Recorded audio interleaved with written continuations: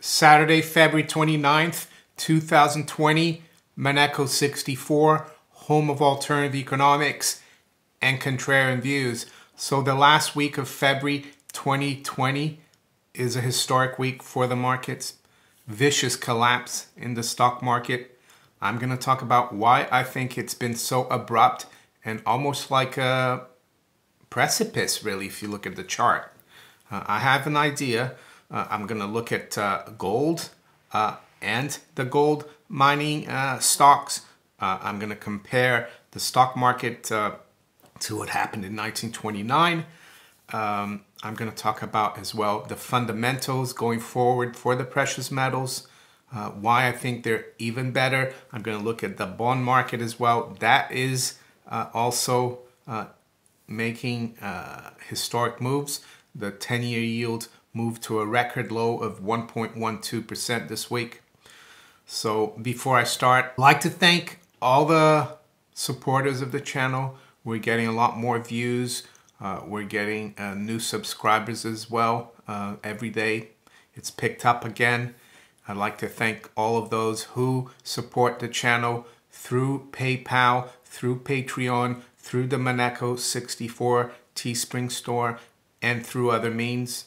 So let's quickly go through the scorecard in terms of uh, performance for the stock markets. Uh, for the week, the Dow dropped uh, over 12%, S&P 11.5%, Nasdaq 10.5%, and it was the same thing in Europe, roughly uh, 11 to 12% drop, as you can see there from from the uh, investing.com uh, page. Year to date, the Dow is down almost 11%, S&P down 8.5, NASDAQ 4.5. So now uh, let's look at some comparisons uh, because one of the reasons uh, I think personally this uh, drop has been so precipitous in the stock market in the US and other places in Europe and in Asia as well. Yes, we had the trigger uh, from what's happening in China. But um, we've been talking for over a year how the stock market just keeps going up, how the central bankers have been able to keep extending the recovery uh, or expansion that we've had since the crisis of 08 that bottomed in 09. So one of the reasons I think the uh, drop this week, this past week, has been so precipitous is that they've extended for so long, they've kept it going for so long, uh, almost like uh, trying to stop a river from going through, like putting a dam up, and th that dam being just enough to keep the river from going through, but then eventually it just bursts. And, and I think that's what we're, we're having they kept uh, this unnatural recovery going and going through a lot of debt, through a lot of monetary policy, through a lot of fiscal policy, and eventually it just burst. And that's why I think it's so it's been so uh, devastating. Uh, so we've got here 1929 versus 2020 comparison. The top chart is 1929. So I did a few calculations and uh, from the top on September 3rd, 1929, the Dow reached 386.1 to the low on November 13th, 1929. Uh, that was 50 business days. So, yeah, the stock market crashed from top to bottom. And this bottom is actually not the final bottom. The bottom was later on, I think in 1932. But this initial move took 50 business days corrected by 49.4%. You can see there it rebounded afterwards towards that uh, good old uh, 38.2 retracement Fibonacci, just a little higher, uh, the stock market. So the chart below, of course, is today. Uh, the Dow, it reached the top on February 12th, just above 29,500. So it's been about 14 business days until yesterday, and we've dropped uh, at one point uh, yesterday, it was down as much as 16%. So we dropped 16% in 14 business days. Uh, while in 1929 we saw a drop of 49% over 50 business days. Am I saying we're going to see a drop of 49%? Uh, who knows? But I'm trying to compare uh, how quickly uh, the stock market is dropping right now. Uh, from the top in 1929, you see that uh, it, didn't drop anywhere as quickly as it's dropping today. Um, and uh, will this year's top be the all-time top for a long time like 1929? That's still to be seen. We still need to see how central bankers are going to react. Uh, there's a lot of speculation now that uh, the Fed's going to start cutting rates. Their next meeting, of course, is March 19th to the 20th. They might do something uh, beforehand.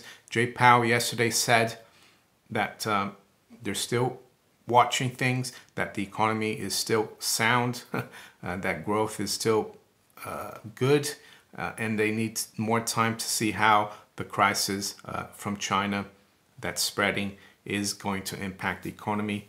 Um, so it's very uncertain.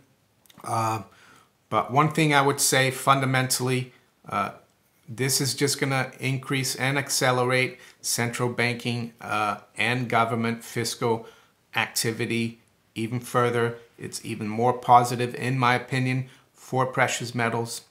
Uh, so now let's move on to uh, the precious metals and see what happened yesterday.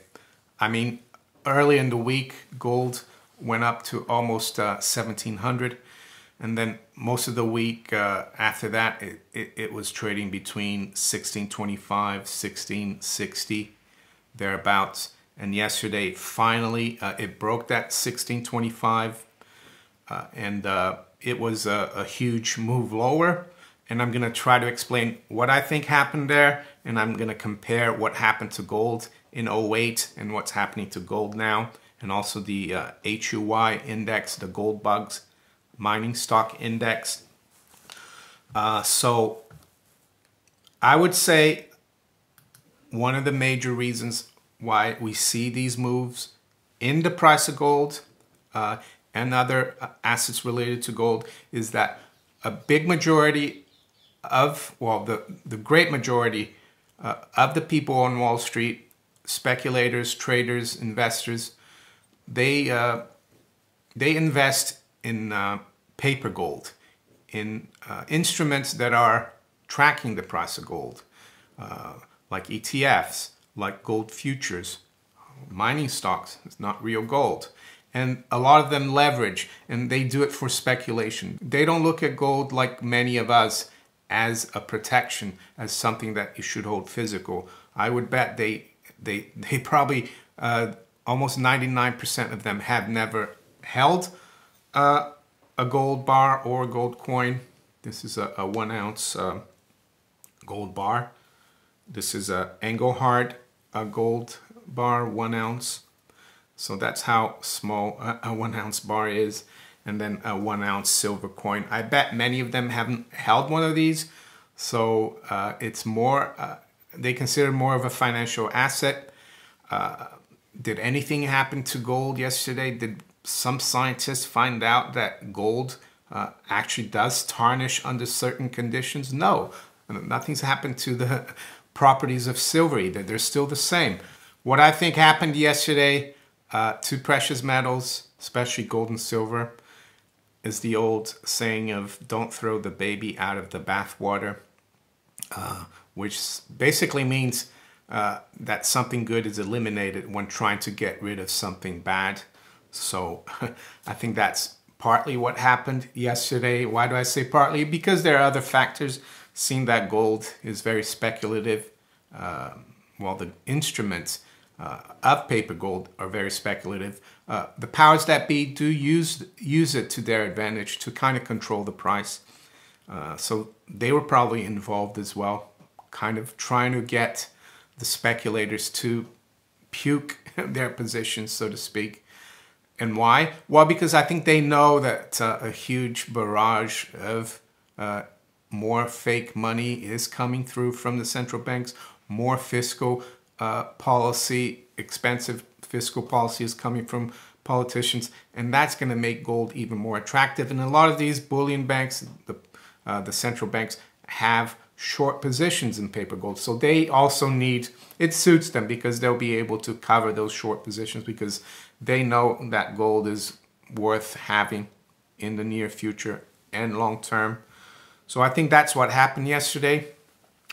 Yeah, uh, they threw the, the baby out of the bathwater, that being gold and silver, because uh, they were probably getting margin calls on all kinds of uh, other inve investments or speculation, and they needed to get rid of some of their gold to cover that.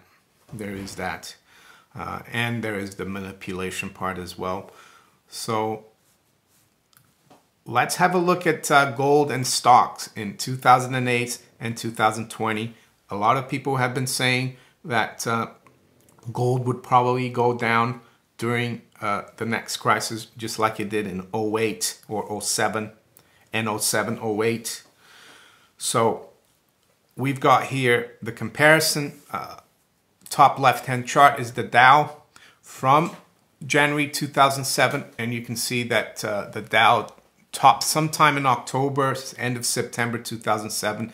Then it started going down. It culminated with a drop and a low in March of 2009. So it was over a few years. Uh, and then you have gold below. Gold actually was trading up all the way uh, up until March. It went from about 600 to 1,000. But then when things started speeding up in uh, March of 08, the stock market collapsed. Gold was having a tough time there, couldn't make newer new highs, and then eventually it bottomed uh, just below 700. And that was uh, towards the end of October 2008. And from there, you can see it just started picking up again. It was uh, almost one-way street up. It uh, recovered, eventually made a new high, uh, and we know it went to a 1900 uh, in 2011. So yes, it did drop during the crisis there, but if you uh, remember the uh, 07 08 crisis, the uh, crisis started showing up in the beginning of 07 with some subprime lenders going under. So gold actually did go up in this crisis. It did have a correction lower when the crisis culminated with the Lehman collapse and then it picked up. So now, uh, as I said, the crisis this year uh, is really uh, one for the books. Look at that drop in the Dow here, the top right hand chart. It's quite amazing. The collapse is so quick. I've never seen it before and I've been in the markets since the late 80s. I've never seen it drop like this uh, over one week. Uh, so it wasn't like uh, 07 to 09 where we saw like a gradual uh, drop and then a culmination towards the end. This has been a culmination all at once. So as you can see here, gold has been going up pretty much with the Dow. Uh, it kept going up as well after the top in the Dow and when we saw the market correcting and and when we saw the Dow starting to go down and then later on this week it kind of uh, uh, range traded between 1625 and 1660 or thereabouts.